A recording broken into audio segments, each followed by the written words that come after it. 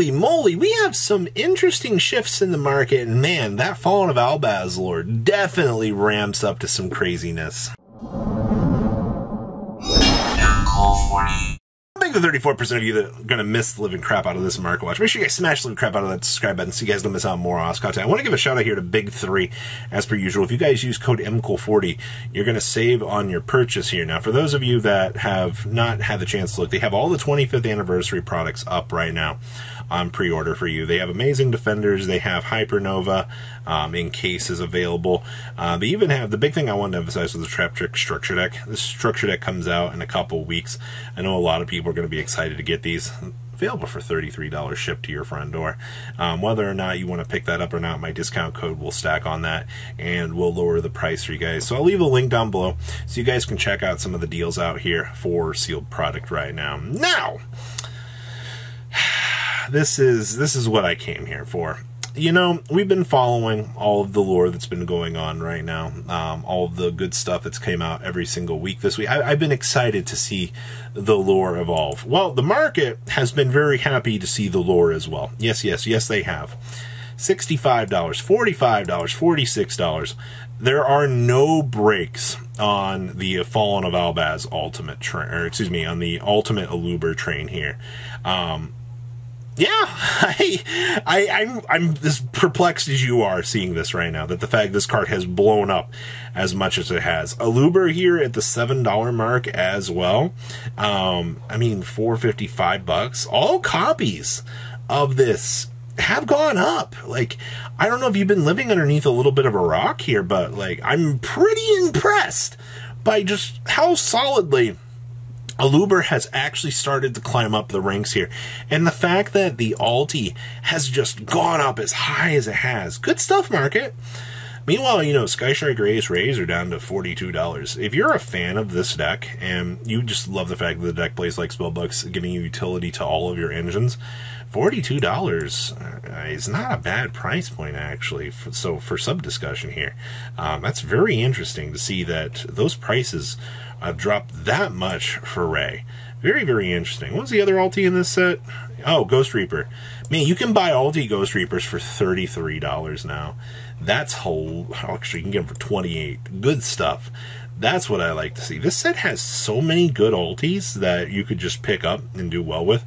I mean, obviously, like the Nimble Beaver Super Rares look nice. The Neko Ming Kings for dollars were all right for their time, but the rest of this OTS pack is is kind of booty. All right, now the other lore card, Fallen of Albaz. Um, for those of you, I mean, this had a little bit of a temporary uptick. I mean, thirty-five bucks is thirty-five dollars, but it it's it very quickly has dipped down. I mean, we looked at these the other day and they were like 40 bucks, right? Um, this one has gotten cheaper. I, I, love the fact that Aluber goes up, Fallen of Albaz heads on down. I, I weird to me how that works, but the market does that some days. Um, your Secret of Fallen of Albazes are 17 bucks for first hits. I remember one. Ah, back in my day, these were way more, but there's 33 listings of these. 166 on the Ultra, and you can get co- commons for very cheap. Sorry, sorry, I had to struggle there with my my internal uh, voice. Uh, the rest of OTS 19 here. I mean, Fall of Albaz 35 bucks, Skill Drains at $33, and Water Enchantresses at $34.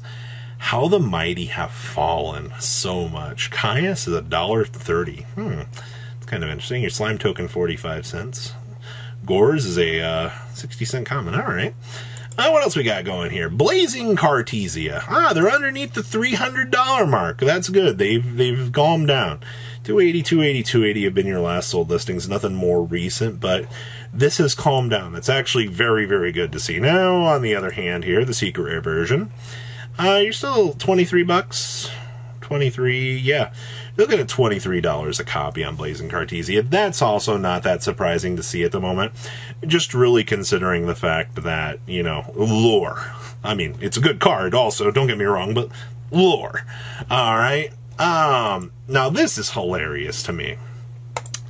There are 16 listings of Sword Soul Moyi on the market. 16! I, am gonna once again repeat that. 16 secret rare listings. Luckily enough, it got the reprint. We're not doing anything too crazy with this, but you escalate up to the $20 mark so very quickly here. Like, what?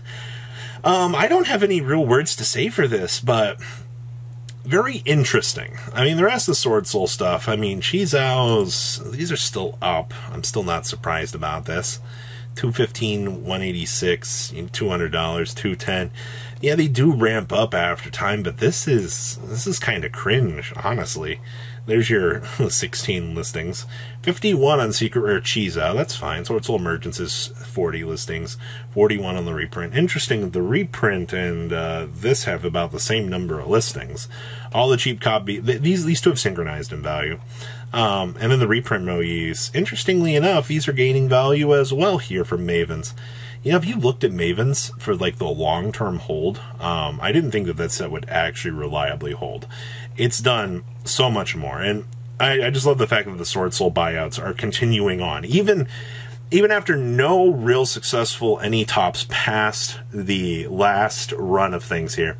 It's still doing its thing. It's very very interesting. So yeah, your Sword Soul cards are they're doing their job. Now I've been asked by multiple people, Robbie do you think the Kashtira cards are going to go down? Well, here's the thing right now. Fenrirs are stupidly $77. Fenrir, as a whole, is more expensive. Actually, they're like 70. Fenrirs as a whole are more expensive than your best secret rare in the set. Think about if this card was a secret. This would have been one of the most expensive cards in modern era history as a secret. This would have toppled out at $100. People would have lost their minds. They would have been so upsetty spaghetti about this that they wouldn't have known what to do. All right. But the fact that these have dialed back. Now, supposedly, we, we think that we know the unicorn's going to be the Alti. Um, I think that unicorns having a $23 price tag is the only thing. That Alti, I think, is the only thing holding this card back right now from exploding all over the place. So, I do, uh, I do want to talk about that, or I just want to mention in that regard that, like, yeah, this card can shoot up even higher beyond right now, but whatever the alti is going to be that they mentioned for this deck is, like I said, the thing that's holding this back. So to answer the question of, do I think that these two are pretty much where they are? I, you could see Fenrir topple up a little bit more. There's always that possibility, or there's the possibility of you know, after the next set comes out, we see this drop down because people are afraid of a ban list. There's always that possibility. But until we know what that Alti is, um, I think that you're going to ride that very thin line for the time being for that. Now, fish sonar. I uh, mentioned this a little bit ago. Um, I saw these were going up. I was like, man, you know, feel free to make fun of me in the comment section going, hey, you know, should have pulled more of these. I mean, yeah, Honestly, I wish I could have. Uh, they're now $15. Um, am I surprised by this? No. It's a literal searcher with. Where are they going to reprint this at? Huh? Konami, where are you going to toss this in as a reprint? The answer is there's not really a place for them to put this at the moment. That's kind of like the big thing with this right now is like I don't know where they're going to put this. There's there's no real big place right now. So it's kind of like why we're looking at this right now is I I can't really think of a place that they could they could dump this to really cash in on that equity. Uh, Kurikara, I just wanted to point these back out. These are still holding at $17, $18 right now. There's been no crash down, no back tracing on this. They are holding strong. I mean, you've lost maybe 25 cents over the last couple days with this. Very interesting. Dual avatar stuff, no change either, 50 cents. Uh, you believe in the Lions, um, this core is going to cost you literally nothing. Most expensive part is the tokens, and I think the tokens look actually kind of cool. Uh, oh, talents. I actually wanted to mention this. These these Pharaoh rares, 150 $700 for this. Hold on, these went up even further beyond. Excuse me. 720, 720, 720. Yep, you go, talents. Shucky darn, all right. Didn't expect to see that today. 100, secret rare, 100. Um, the one I wanted to talk about on here was the ultras and yeah, both ultras here. These are both synchronized actually. You're looking at about twelve to thirteen dollars on these. Um, kind of as we go forward here to the next set, you're going to want to keep an eye on these and uh, just be prepared. All right, a little bit of a heads up. And then uh, I just want to mention here that uh, the Dolphus Accord Coolias only have uh, 10 listings for the collector's rare, which I found kind of interesting. But I just want to point that out for you guys. So that's today's market. What do you guys think? Please leave a comment down below. Tell me what you guys think, and I'll see your beautiful faces back here later in the day, guys. Peace out. Patrons, thank you.